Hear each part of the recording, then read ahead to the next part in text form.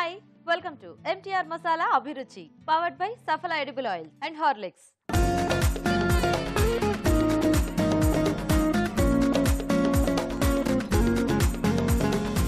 మీరు అడిగే వంటల్ని మా షెఫ్ టేస్టీగా చేసి చూపించే సెగ్మెంట్ వంటలు పిండి వంటలు. మరి ఈరోజు వంటలు పిండి వంటలు సెగ్మెంట్లో ఎవరు ఇమెయిల్ చేశారో ఇప్పుడు చూద్దాం.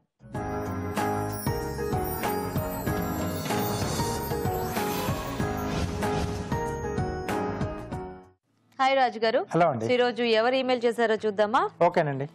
ఓకే సో మధురా నగర్ నుంచి మెయిల్ వచ్చింది రాజు గారు. జయ గారు మెయిల్ చేశారు. ఓకే. సో జనరల్గా మనకి అంటే కర్డ్ రైస్ అనేది ఎక్కువ దద్దోజనం ఈ టైప్లో చేసుకుంటూ ఉంటాం కదా. అవునండి. సో దాంట్లో అంటే దద్దోజనం కాకుండా కర్డ్ రైస్లో ఏదైనా డిఫరెంట్ ఫ్లేవర్తో చేసి చూపించమని అడుగుతున్నారు. ఓకే సో కార్డ్ రైస్లో డిఫరెంట్ ఫ్లేవర్ అంటే ఆ, సో ఇప్పుడు మనకు స్వీట్ కార్న్ కూడా విరివిగా వాడుతూ ఉన్నారు కదా? అవును. సో అవి యూజ్ చేస్తూ కొంచెం మేతి ఫ్లేవర్లో చేసుకుందామండి. పెరుగన్నంలోనా? పెరుగన్నంలోనే. ఓ. Methi corn curd rice. Methi corn curd rice. బాగుంది. ఓకే మరి మేతి కార్న్ కర్డ్ రైస్ తయారీకి కావాల్సిన పదార్థాలు ఏంటో ఒకసారి చూద్దాం. మేతి కార్న్ కర్డ్ రైస్ తయారు చేయడానికి కావాల్సిన పదార్థాలు. బియ్యం ఒక కప్పు. ఉడికించిన స్వీట్ కార్న్ అరకప్పు. పెరుగు ఒక కప్పు. తరిగిన మెంతి కూర పావు కప్పు. తరిగిన అల్లం ఒక టీ స్పూన్. తరిగిన పచ్చిమిరపకాయలు రెండు. పోపు దినుసులు ఒక టీ స్పూన్. ఎండుమిరపకాయలు రెండు. కరివేపాకు రెండు రెమ్మలు. కొత్తిమీర కొద్దిగా. నూనె రెండు టేబుల్ స్పూన్లు. పసుపు చిటికెడు ఉప్పు తగినంత మిరియాలు ఒక టీ స్పూన్. ఓకే అండి మరి కావాల్సిన పదార్థాలన్నీ చూసారు కదా? మొదలు పెడదామా రాజు గారు? ఓకేనండి. సో ముందుగా ఏంటంటే మనం.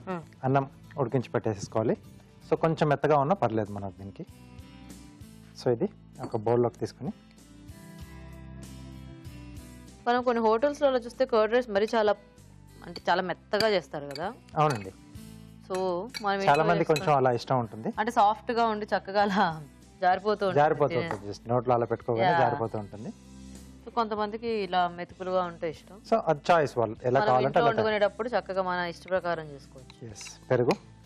కొంచెం ఫ్రెష్ అయితే బాగుంటుందండి పెరుగు. ఇలాంటి వాటికి మరి పుల్లగా ఉన్నా కూడా తినలేము తినలేము. కాబట్టి కొంచెం ఫ్రెష్ తీసుకోవాలి. ఇంకా సో దీనికి సరిపడా ఉప్పు. ఓకే సో ఇదంతా కూడా బాగా కలిపేసుకోవాలి. కొంచెం వాటర్ కూడా యాడ్ చేసుకోవాలండి కంపల్సరీగా మనం. ఎందుకంటే ఇదంతా అన్నం మనకు పీల్చేస్తుంది మొత్తం. అవును.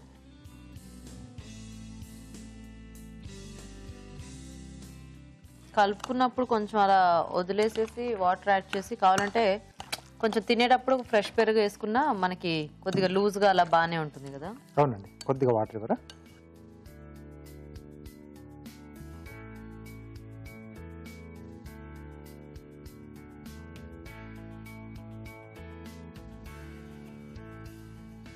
సో ఇలా కలిపేసి కాసేపు మనం పక్కన పెట్టేసేద్దామండి. ఓకే.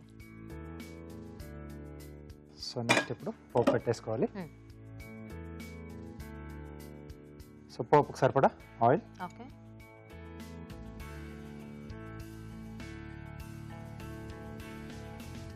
సో దీంట్లో మెయిన్గా ఎండమిరపకాయలు. చాలా మంది దీంట్లో అవి నంచుకొని తింటూ ఉంటారు. అవును. యాక్చువల్గా అంటే పెరుగులో వేసాక కూడా కొంచెం ఎండుమిరపకాయ ఘాట్ అనేది స్ప్రెడ్ అవుతుంది అలాగా? ఎస్ దాంట్లో కొంచెం ఊరినట్టు అయ్యి. సో దీంట్లో ఏంటంటే మనం కొంచెం అది బాగా నల్లబడే వరకు కొంచెం వేయించుకోవాలి. సో టేస్ట్ అనేది బాగుంటుంది. మారడం అంటూ ఏం జరగదు. ఓకే. సో అలా అయినా దీని టేస్ట్ బాగుంటుంది. సో మామూలు దద్దోజనం లాంటి వాటికి మనకు పోపు చాలా fast గా అయిపోతుంది. సో దీనికి ఏంటంటే కొంచెం అవి ఉంటాయి కాబట్టి కొంచెం టైం కొంచెం టైం. సో పోపు ఆవాలు, దినుసులు సో ఇక్కడ. నేను పప్పు వాడట్లేదు. మనం స్వీట్ కార్న్ యాడ్ చేస్తున్నాం కదండి. సో పప్పు లేకుండా ఓన్లీ జీలకర్ర ఆవాలు రెండే వాడుతున్నాం. కొద్దిగా మిరియాలు. అలాగే సన్నగా తరిగిన అల్లం. ఓకే. అలాగే తరిగిన మిరపకాయలు.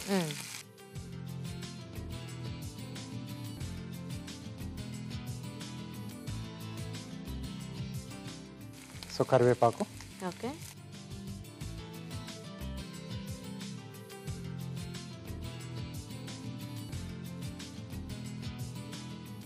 సో ఇప్పుడు దీంట్లో మ్మ్. మెంతి కూర అండి.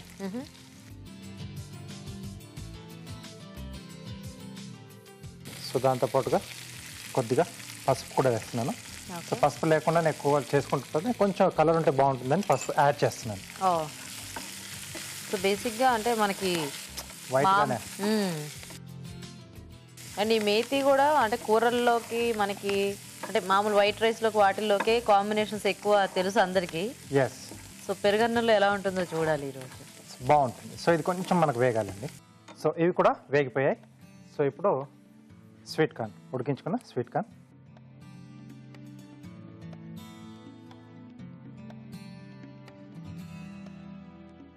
సో ఇది కొద్దిగా వేగితే సరిపోతుందండి.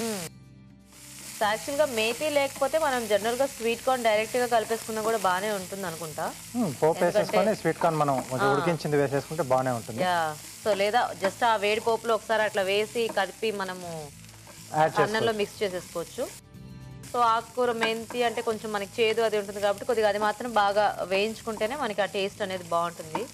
ఎందుకంటే కూరల్లో మనకి వేరే వెజిటేబుల్స్ అలా ఏమైనా యాడ్ చేస్తాం కాబట్టి కొంచెం బ్యాలెన్స్ అవుతుంది అది సో. ఇక్కడ మనకు ఇది ఒకటే ఉంది కదా? అవును. ఓకే సో రెడీ అయిపోయిందండి. ఓకే. సో దీని మొత్తంగా మనం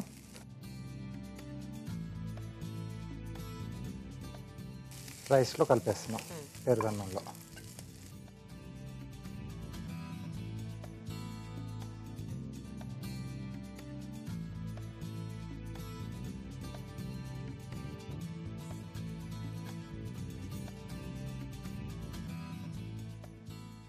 వావ్. దీంతో పాటుగా కొద్దిగా కొత్తిమీర. కూడా. ఎప్పుడు మనం రెడ్ కలరే చూస్తుంటాం ఐ మీన్ దానిమ్మ గింజలే ఎక్కువ. కానీ ఈరోజు ఎల్లో కార్న్ కూడా యాడ్ చేసుకోవచ్చు. బాగుంది.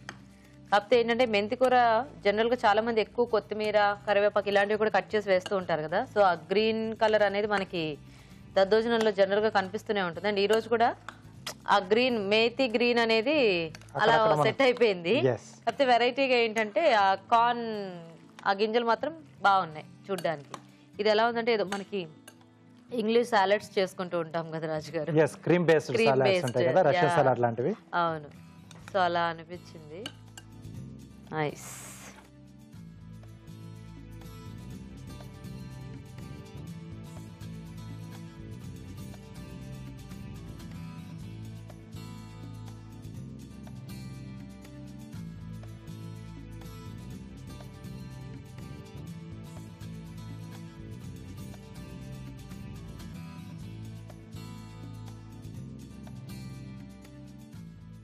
ఓకే? సో కొద్దిగా కొత్తిమీర.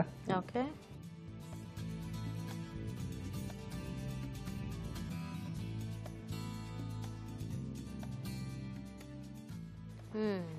Okay.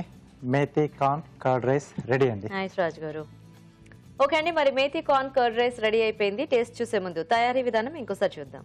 Methi corn curd rice తయారు చేసే విధానం. ముందుగా బియ్యం ఉడికించి అన్నం సిద్ధం చేసుకోవాలి. ఒక బౌల్లో అన్నం పెరుగు ఉప్పు వేసి బాగా కలిపి కాసేపు పక్కనుంచాలి. ఒక పాన్లో నూనె వేసి ఎండుమిరపకాయలు పోపు దినుసులు మిరియాలు తరిగిన అల్లం పచ్చిమిరపకాయలు కరివేపాకు వేసి వేయించాలి. దీనిలో తరిగిన మెంతి కూర పసుపు వేసి వేగనివ్వాలి. తర్వాత స్వీట్ కార్న్ వేసి వేగనివ్వాలి. ఈ మిశ్రమాన్ని పెరుగు మిశ్రమంలో వేసి బాగా కలుపుకోవాలి. ఆపై కొత్తిమీరతో గార్నిష్ చేసి సర్వ్ చేసుకుంటే methi corn curd rice ready.